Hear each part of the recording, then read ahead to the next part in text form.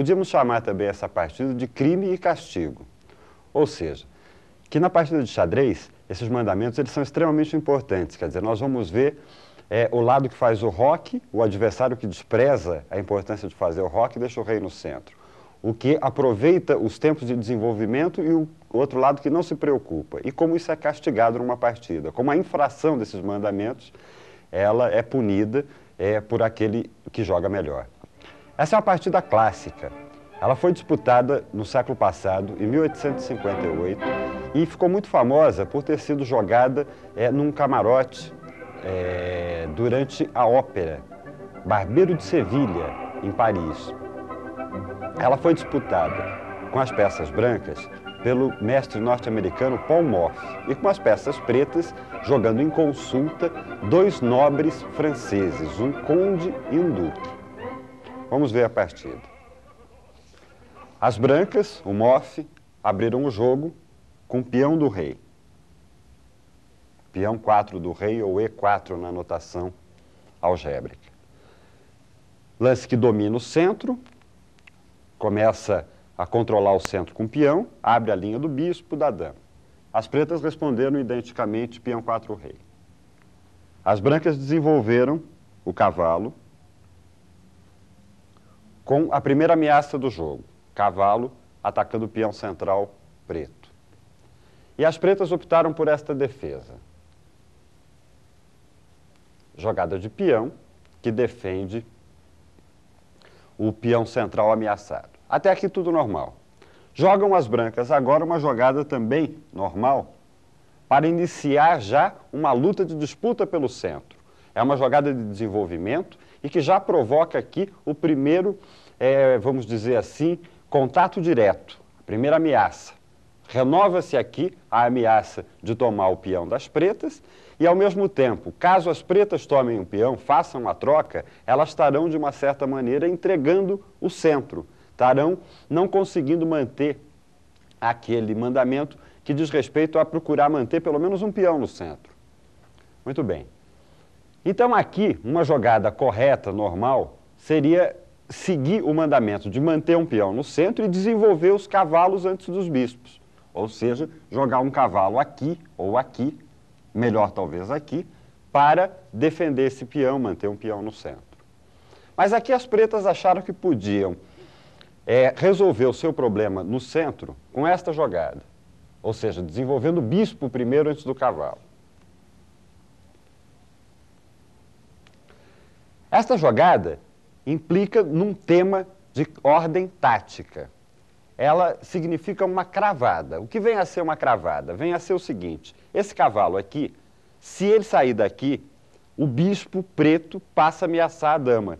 Quer dizer, nós temos aqui uma linha onde há o cavalo, onde há o cavalo branco, a dama, e o bispo passa a ameaçar indiretamente a dama, porque se o cavalo sai, fica a dama ameaçada. Então é um elemento tático mas que não se justificava ainda, visto que o desenvolvimento ainda é, vamos dizer assim, muito reduzido, era preciso desenvolver mais peças. Então aqui, as brancas se aproveitam disso para realizar esta jogada. Trocam o peão no centro. Com isso vão obter vantagem. Esta vantagem será obtida pelo seguinte, observem. Se agora as pretas tomam este peão, a coluna da dama fica inteiramente aberta, com uma dama na frente da outra. Então, este cavalo aqui, que não poderia sair porque a dama poderia ficar sob ataque, a, as brancas teriam agora a opção de fazer esta jogada, esta troca de damas. Dama come dama, cheque. O rei das pretas é obrigado a retomar a dama, anda de uma em uma, e aqui, finalmente, como não há mais dama, foi trocado, o cavalo não está mais sob ameaça alguma. As brancas ganhariam o peão central, com um ataque ao bispo, com um ataque ao peão, enfim, teriam uma grande vantagem. Então, aqui, voltando à posição anterior,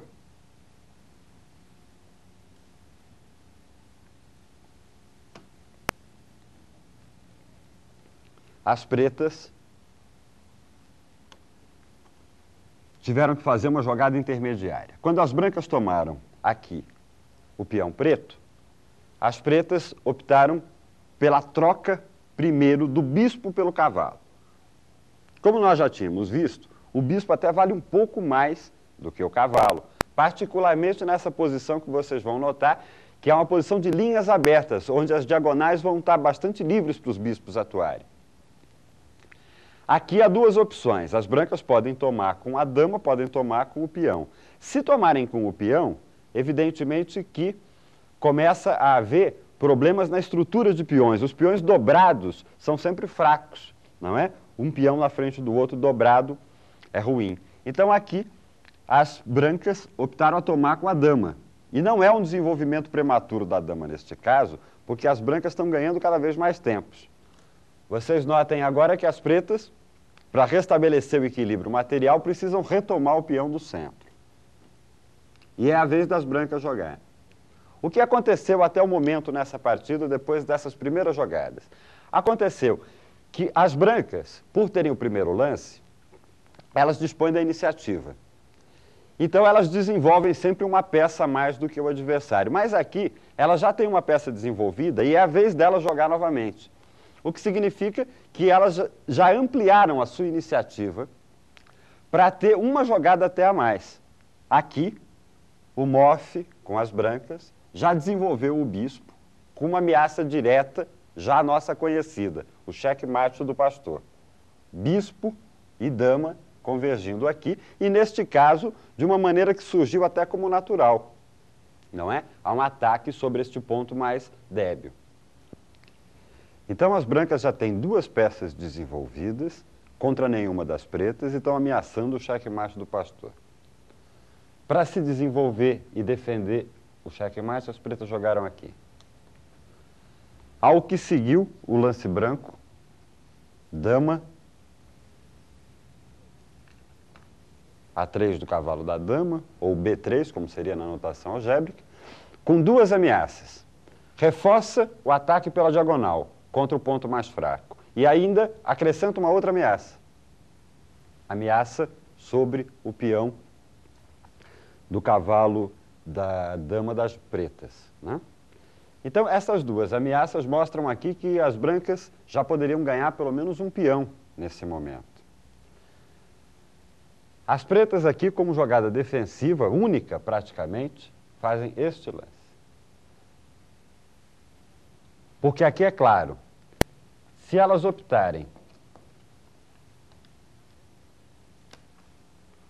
se tivessem optado por defender o peão do cavalo, em vez de defender o peão do bispo, do rei, é claro que aqui se chegaria a um checkmate que não é exatamente o do pastor, mas é idêntico.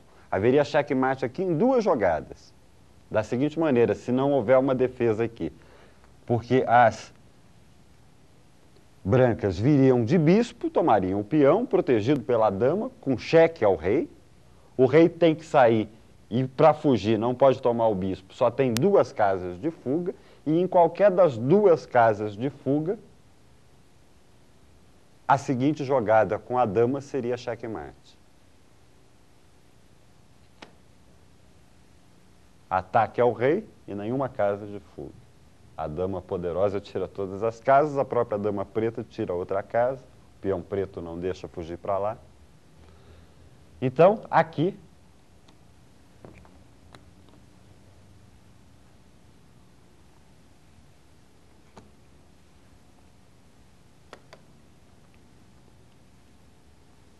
o jogo seguiu. Aqui o jogo seguiu com esta jogada de dama para defender a ameaça mais importante, que era a ameaça aqui até de cheque-mate. Aqui as brancas podem ganhar um peão, comem lá atacando a torre, mas preferiram não ganhar esse peão. Preferiram um jogo assim mais criativo, mais bonito, e até porque as pretas tinham mais ou menos preparado, no caso da dama tomar o peão, seguir com esta dama aqui cheque. Protegido aqui pelo bispo, cheque no rei e ao mesmo tempo atacando a dama.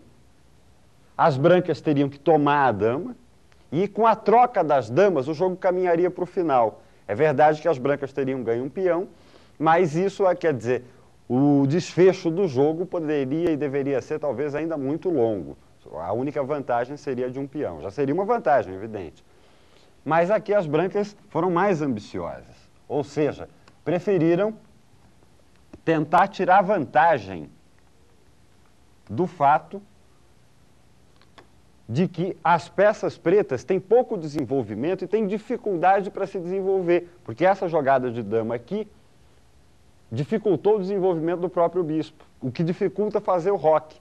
Então vocês vão notando que aqui é, é, as pretas já descumpriram alguns dos mandamentos e vão sendo forçadas a descumprir outros, enquanto as brancas vão se desenvolvendo com lances que contêm ameaça, conforme manda um dos mandamentos. Né? Fizeram novo, nova jogada de desenvolvimento, de cavalo, controlando o centro e com ameaças até de avançar o cavalo mais para o ataque.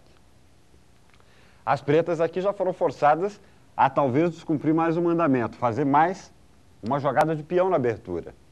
Jogaram aqui para evitar que, um, que o cavalo branco possa pular ameaçadoramente nessas casas, proteger, e também para providenciar uma defesa para aquele peão. No momento em que este peão avançou, a dama passou a atuar e a proteger aquele peão ameaçado. Muito bem. Vez das brancas. A última peça das peças ligeiras que ainda não desenvolveu é desenvolvida, e novamente como ameaça. O bispo vem agora aqui cravando o cavalo. Vocês notem que quatro peças é, brancas já estão no jogo em posições boas, atuando num conjunto, os dois bispos, o cavalo e a dama. E as outras duas peças podem ser mobilizadas a qualquer momento,